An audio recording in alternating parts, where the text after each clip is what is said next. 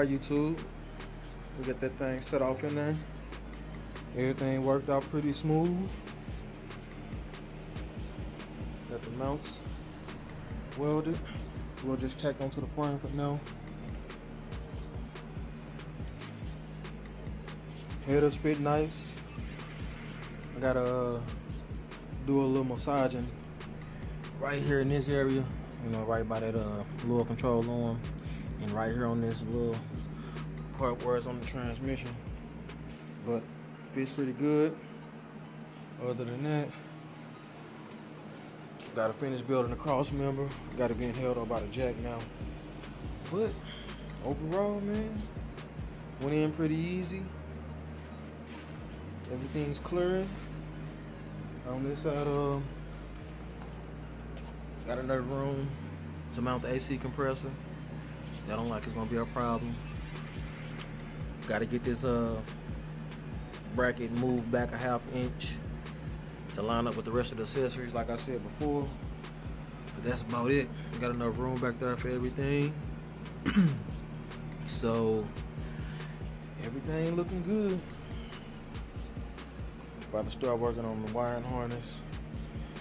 It's already pretty much together, just finishing it up and you know getting the wires all to one location in the car I'm about to PCM. Um, start getting these in the fenders on, getting the fenders on, getting the core support and stuff all in here.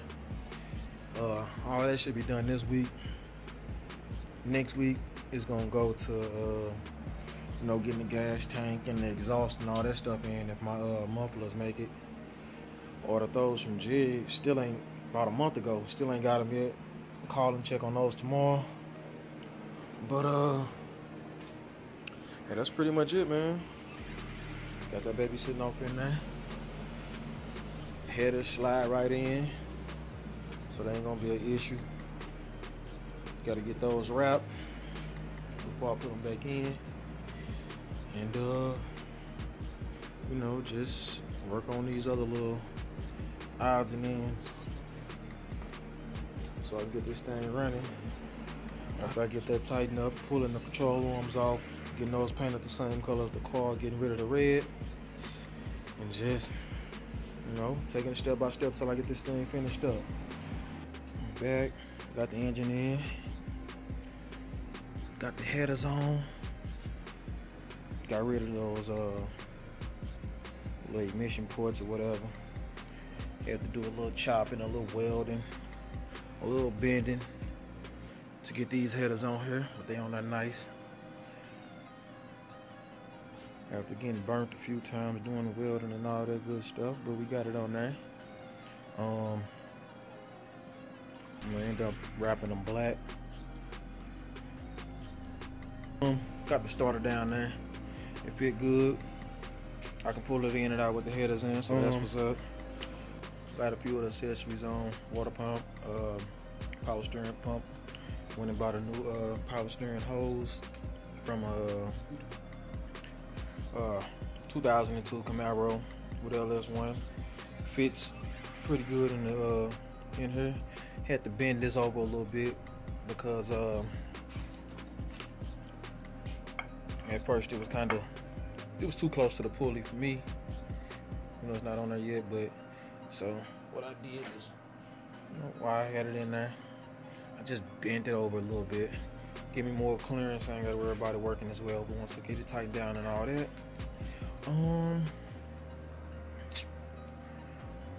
intake not on yet. Well, it's on, but it's not bolted down. Painted it up. Uh, water pump, nice silver. Got the mounts in there. Got to weld it to the uh, frame. I was gonna weld a little plate, make a little plate here to where I could bolt the plate to the frame, but I don't care. So I just welded the tabs to the frame. Got the motor bolted in, sitting real nice. Not too far away from the firewall. But uh, you know, close enough. It's where I don't mess up my firewall. Hit it a couple times, uh, getting the motor in. Just touched that over the little black. Nobody ever noticed.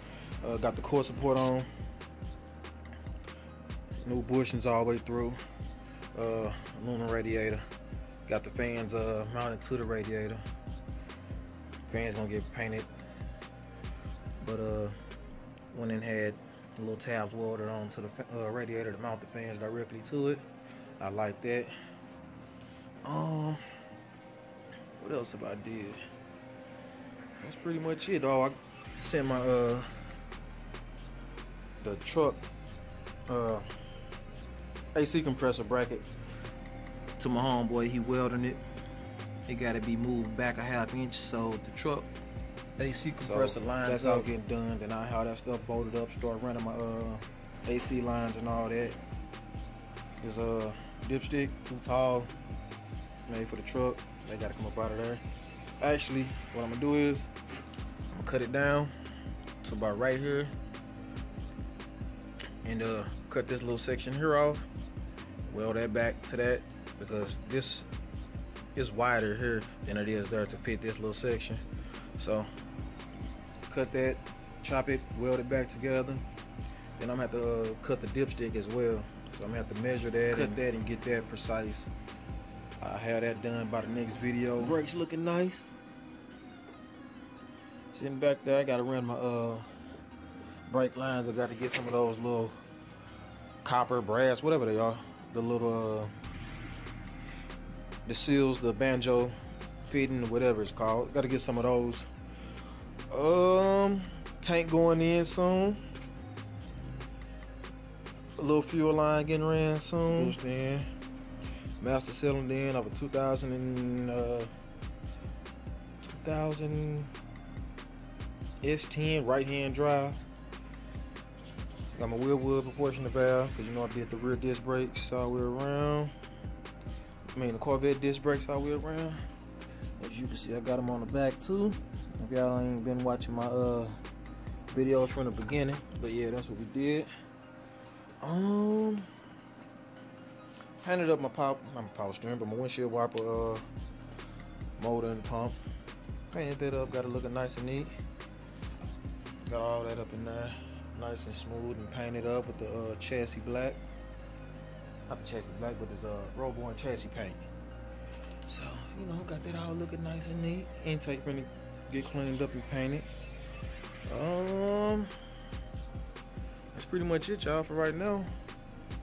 Had to pull the dash back out. Oh, got my little, uh, got my little AC unit mounted under the dash. Went to the junkyard and found me some of this, um, this duck. Paid about two bucks for it. They was trying to charge me like 50 bucks for six feet online. I got about 20, 30 feet of that for two bucks. So, you know, that was what's up. My little AC unit in. Get to running my lines and all that pretty soon. But y'all stay tuned, man. Veltboy been in here doing a little bit of work starting to come together. But uh, like I said, y'all stay tuned for more videos.